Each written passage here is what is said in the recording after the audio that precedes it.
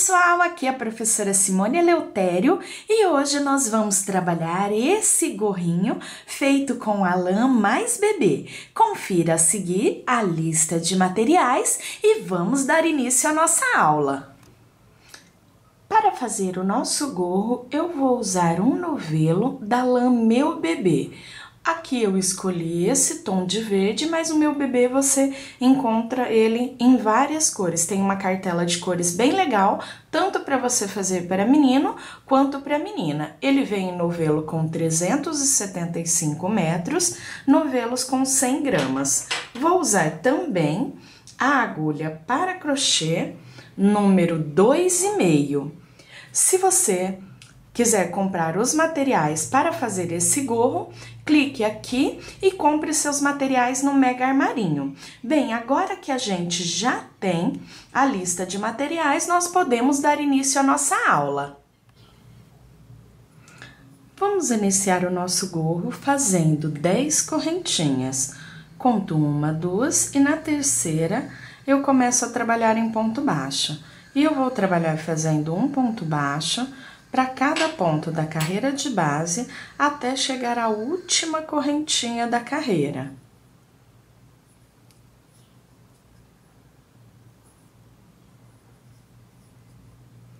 Cheguei aqui à última correntinha, viro o meu trabalho, Inicio a segunda carreira fazendo duas correntinhas, pulo o primeiro ponto e venho no segundo, mas pegando só na laçada de trás do ponto. Trabalhando um ponto baixo para cada ponto da carreira de base até chegar ao último ponto.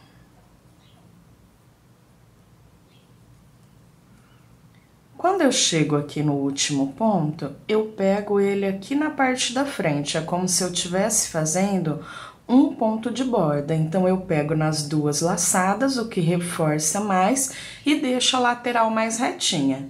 Eu tenho aqui, contando as correntes como um ponto, um, dois, três, quatro, cinco, seis, sete, oito, nove.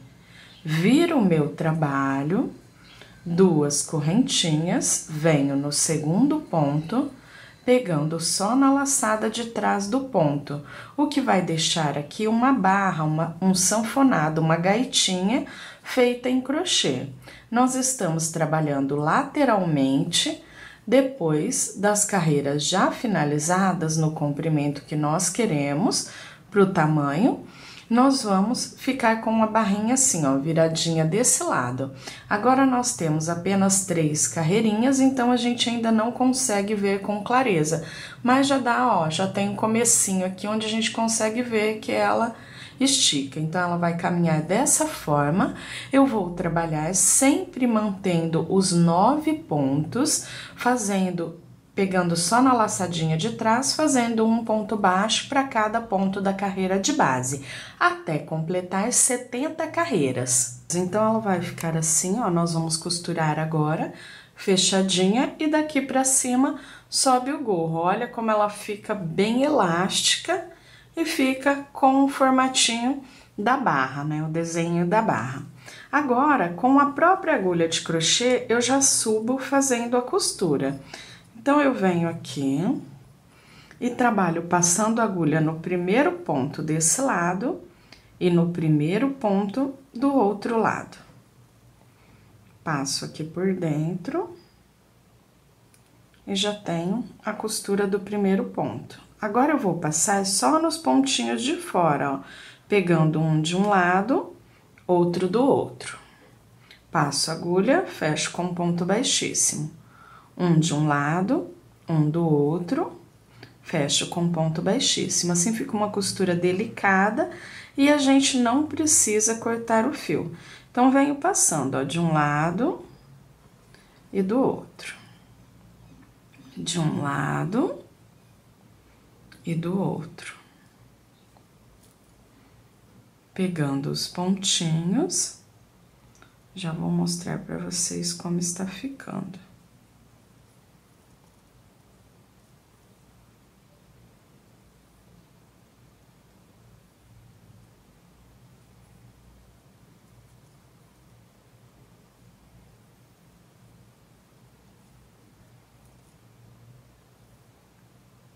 Aqui no último, a exemplo do primeiro para reforço, eu passo nas duas laçadinhas.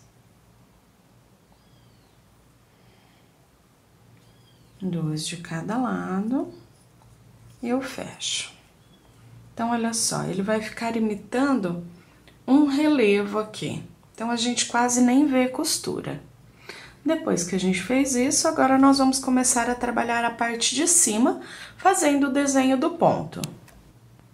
Bem, aqui nós temos todos esses relevos. Então, quando a gente tem aqui, ó, essa partezinha sobreposta, a gente tem o relevo. Quando a gente passa a agulha aqui, a gente tem a abertura do ponto, ó. E é por aqui que nós vamos trabalhar todos os pontos. Fica fácil de pegar, a contagem fica fácil, então facilita bastante a confecção.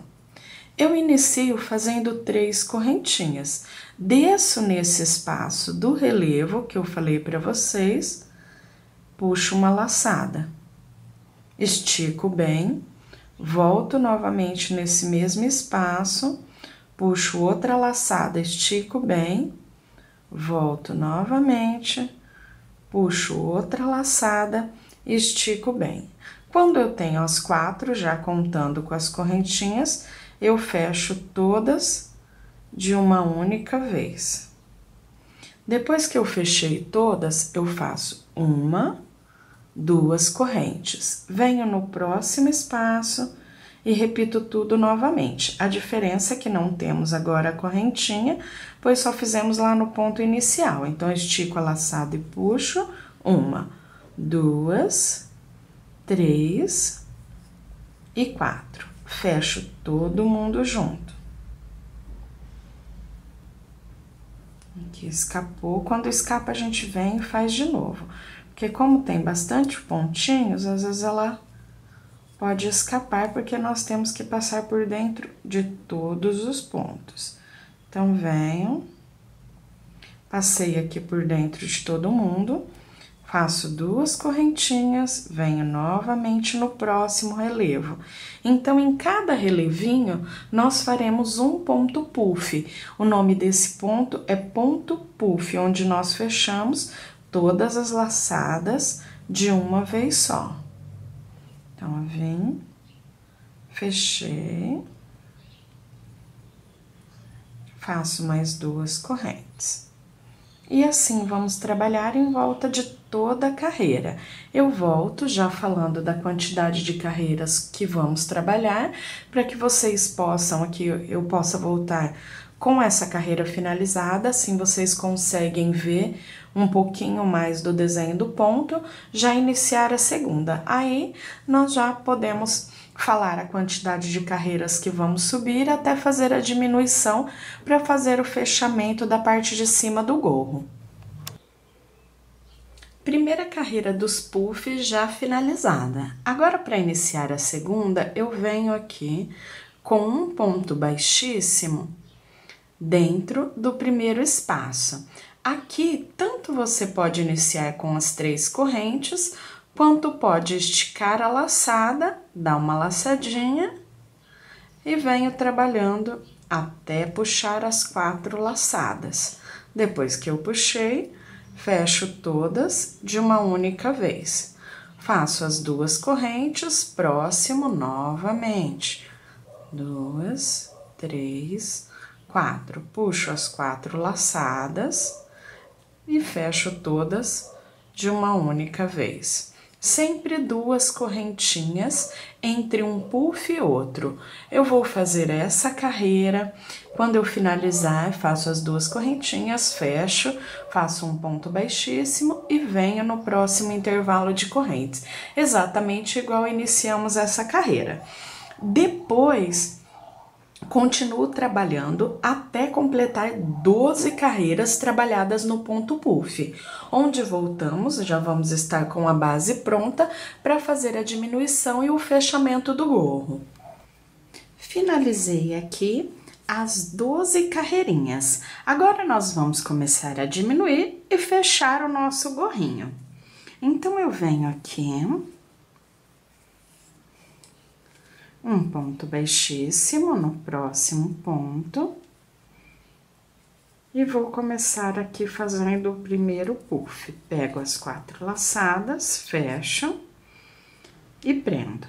Agora, eu venho diretamente, eu não faço mais as correntinhas, eu só prendo e já vou para o próximo. Laçada, duas, três, quatro. Fecho.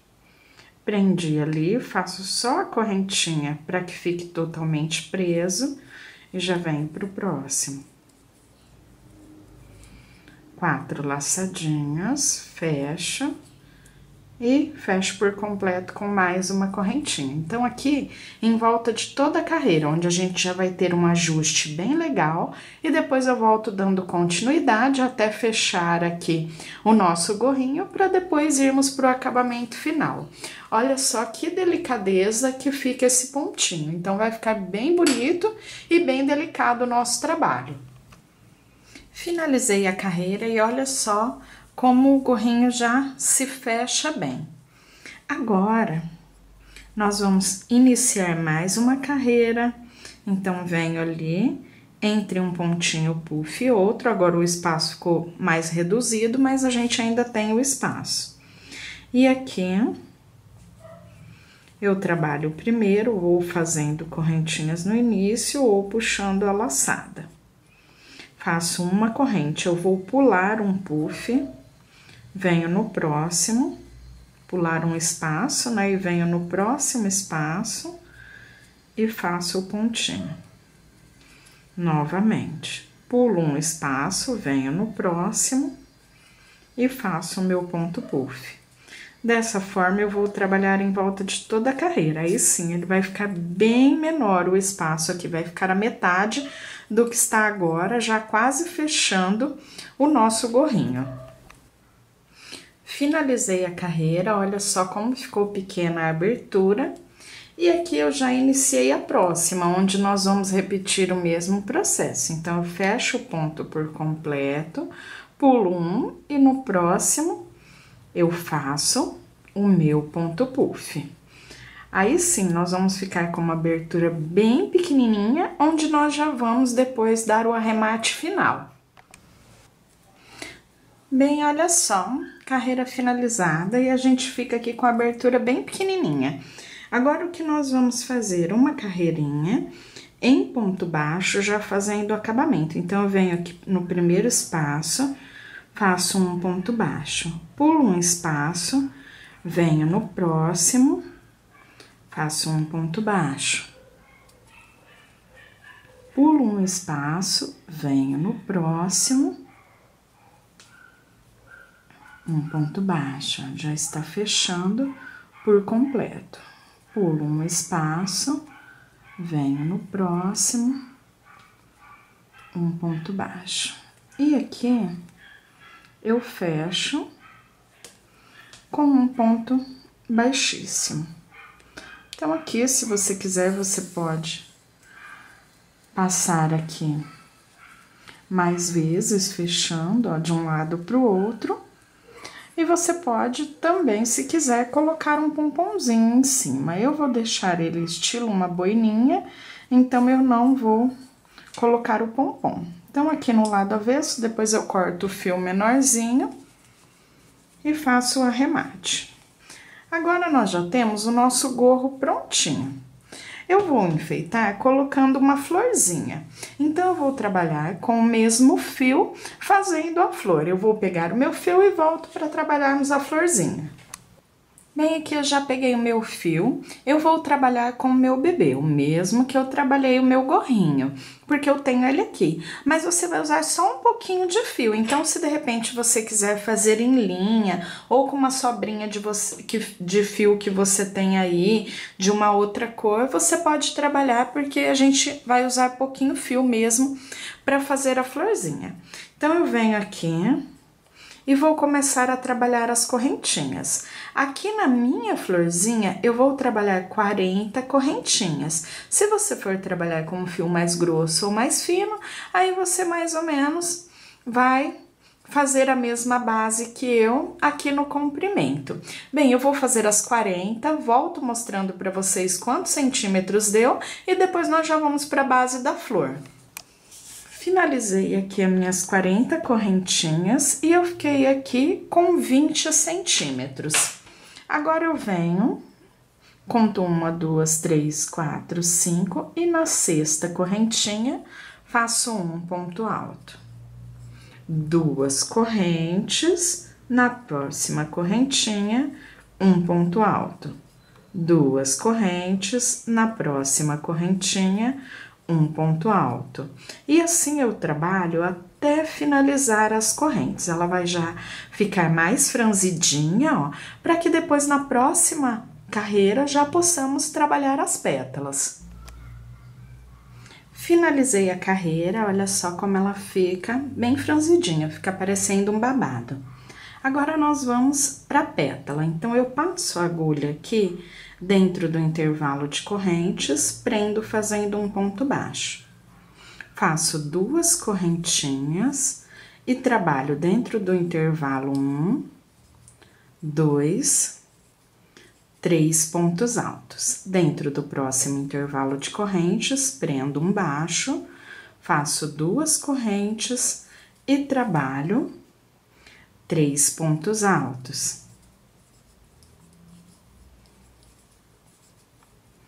Dentro do próximo intervalo, um ponto baixo, duas correntes e trabalho três pontos altos. E assim, vou trabalhar até finalizar a carreirinha. Quando eu finalizar a carreira, eu volto para montarmos a flor, enrolando ela e prendendo e já fazendo a colocação no gorrinho. Finalizei a carreira das pétalas. Já cortei o fio, deixei aqui mais ou menos uns 20, 25 centímetros, pois aquela parte maior de sobra do fio é a parte que nós vamos deixar as pétalas presas. Nós vamos usar para fazer tipo uma costura. Aqui, esse fiozinho menor, ele vai ficar sempre para baixo aqui na florzinha. E eu começo a enrolar. Vou passando aqui, ó, carreira a carreira Viro aqui pro avesso e venho enrolando. Deixando sempre o fiozinho aqui para baixo, porque nós também vamos usar esse fio.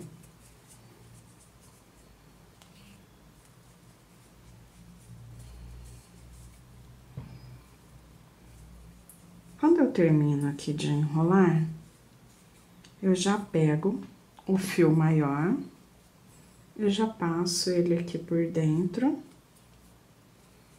para dar uma laçadinha. Prendi aqui. Agora eu vou começar a trançar ele por dentro, ó, do outro lado, ó, como ela fica bem bonita, bem cheinha. E aqui eu vou passar ele por dentro de várias camadinhas aqui da pétala, das pétalas, por baixo mesmo, onde nós fizemos os pontos altos separados por correntinhas, porque aí ele agrupa, ele deixa as camadas presas. E eu venho passando assim, ó, de um lado pro outro. O fio menor, ele continua ali. E eu passo esse daqui por dentro, ó, de um lado pro outro, viro, volto por outro lado. E assim eu faço por algumas vezes. Eu vou passar aqui por mais algumas vezes no meu, dando mais umas voltinhas aqui pra lá e pra cá, pra que a flor fique bem enroladinha, bem firme, e depois eu volto para fazermos o acabamento. Bem, aqui passei por mais algumas vezes, ó, e a minha flor já está bem firminha, não escapa mais. Agora eu venho no meu gorrinho e eu coloco sempre ele aqui acima um pouquinho da barra, bem pouquinho, mas para que a florzinha não fique na barrinha, que ela fique ali na parte do gorro.